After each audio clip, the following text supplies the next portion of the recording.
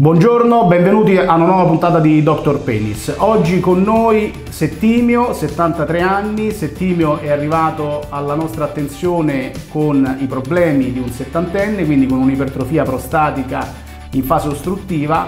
Aveva tutta una serie di disturbi minzionali, un getto debole, una frequenza eh, diciamo molto molto importante quindi una qualità di vita da un punto di vista minzionale alterata.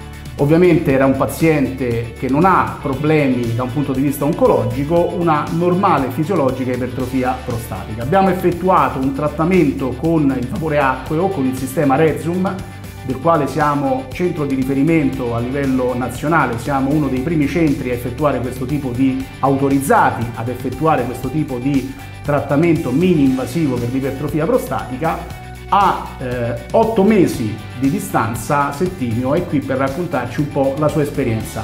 Prima dell'intervento com'era la situazione e dopo? Allora, prima dell'intervento la menzione era molto frequente e scarsa, con un getto non, eh, non idoneo. Dopo l'intervento, a distanza di otto mesi, la situazione è notevolmente cambiata il getto è, molto migliorato, la frequenza urinaria è notevolmente diminuita e la notte riposo meglio.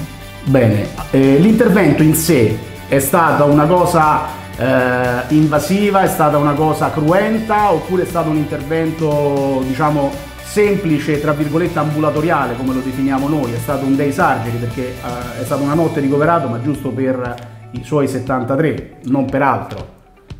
Io devo dire che l'intervento è stato molto semplice. Con l'anestesia non ho sentito niente, il post operatorio con il catetere non mi ha dato fastidio.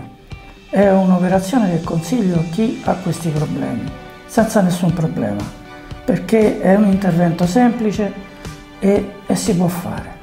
L'eiaculazione, perché eh, tutti gli uomini che hanno problemi di ipertrofia prostatica, che prendono dei farmaci oppure che devono fare un intervento, hanno paura per le conseguenze da un punto di vista di eiaculazione e di erezione soprattutto.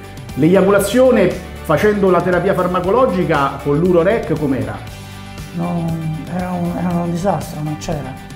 Adesso invece va, va, benissimo, è tutto tornato nella normalità. Senza prendere farmaci? Senza farmaci. Perfetto, bene.